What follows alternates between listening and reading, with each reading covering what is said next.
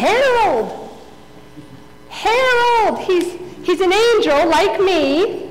He's wearing something similar to me, of course. He's tall, dark, kind of handsome, if you ask me. I can't find Harold. What? What is this over here? Is this him? Harold! Harold! Harold! Wake up, Harold! Who goes there? Yes, Hark is who goes there. It's me, Hark. Harold, wake up! Where, where am I? What, what time is it? Who, who am I? Harold. Oh. You're Harold. You know, an angel of the Lord, a messenger of God. Yes, okay. Come on, Harold, wake up. I was, I was just resting my, my eyelids a bit. That's all. That's all. Uh, yeah. Harold, you've been sleeping. And I've been looking all over for you. You missed it, Harold. You slept through it. Wait, wait, wait, wait, wait. I missed it. It. I closed my eyes for a second and I missed it. Yes, Harold, you missed it. I tried messaging you on Angel Messenger a hundred times. This old thing, I went for the wing features. They're useless. I need an upgrade. I need an upgrade. I need your. Ooh, that's got the halo. That's got the halo screen. That's really nice. Mm-hmm. Very nice. Very nice. Well, I'm not going to get an upgrade anytime soon. Missing tonight. See, tonight is the night we angels have been rehearsing for for 500 years, and I can't believe I missed it. How could there be Hark without Harold? I know. I really missed my wingman. Well, who was there? Tell me. Tell me all about it. I think everyone was there. Everyone except me. Yeah, Michael, all the archangels, Gabriel, the entire seraphim, and the cherubim. Even the angels from the realms of glory were there, Harold. The whole heavenly multitude was praising God, and I missed it. Oh, I can't believe it. I can't believe you slept through all the commotion. I mean, here. Tell me everything about it. What did I miss? I want to know every single detail. I've been looking forward to this night for so, so long. Tell me about it, Hark. Tell me everything. I gotta know. Okay, all right, okay, all right. Picture this. Okay. It's a really quiet night. No wonder you fell asleep. But then, all of us angels got an alert on Messenger that Mary had arrived in Bethlehem with Joseph, and the baby was ready to be born. Okay, so she arrived safely. I was really worried about her on that donkey. She made it all the way with Joseph from Nazareth. Okay, good. So far, everything was according to plan. What happened Yes, next? Okay, so then you know they traveled there to Bethlehem for mm-hmm. the census, you know, mm-hmm. so everyone could Yep. be counted. But everybody else was going there too. The hotels, the inns, everything, Harold, was jam packed. Mary and Joseph couldn't find a place to stay. It was an innkeeper who said, You can stay in my stable. Can you believe it, Harold? Stable? You mean the place where animals eat and drink? A stable? Yeah, a stable. Wow. Amazing. God chose to have his son Jesus born in a stable. Mm-hmm. So Mary even made a cradle out of the manger in the stable. You know, the place where animals eat from?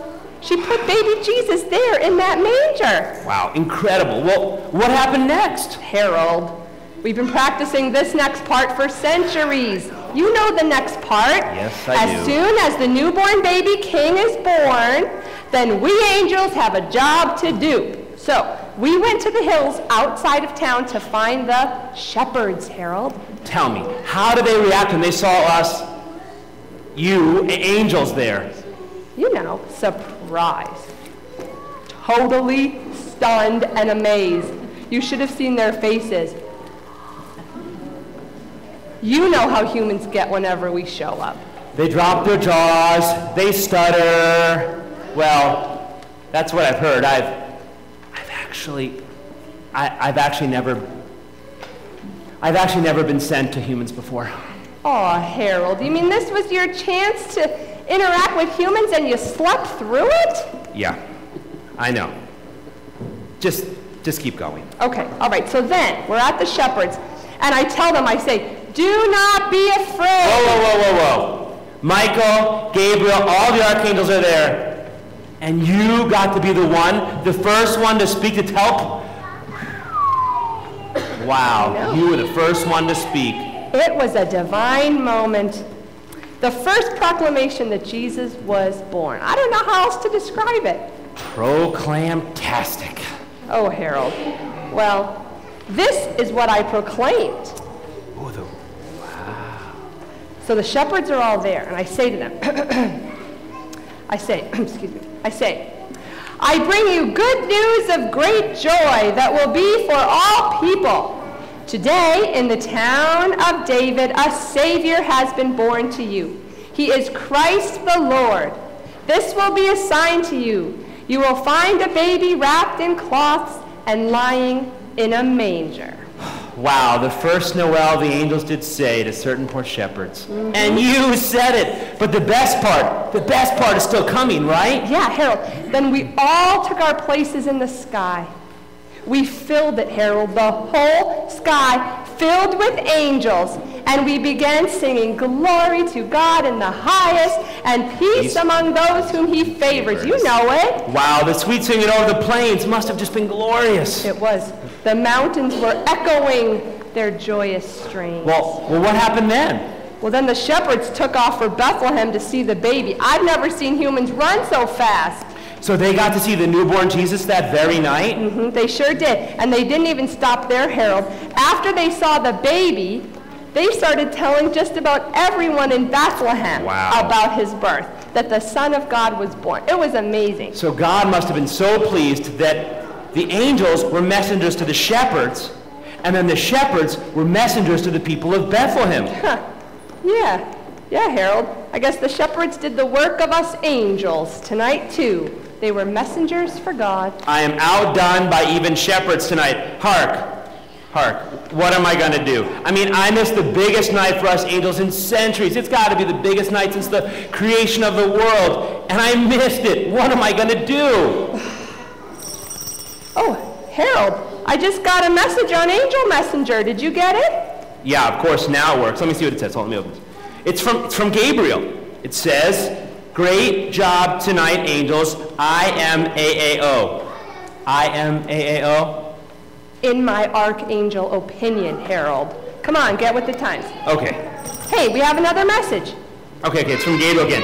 God declares the wonder of tonight will be celebrated forever. Every year on this night, people will celebrate Jesus' birth by singing the songs of the angels.